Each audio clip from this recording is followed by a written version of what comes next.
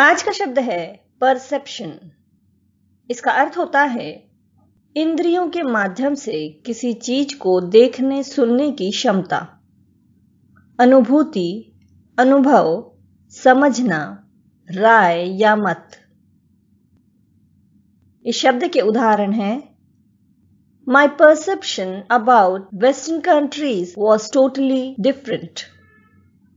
पश्चिमी देशों के बारे में मेरी राय बिल्कुल अलग थी।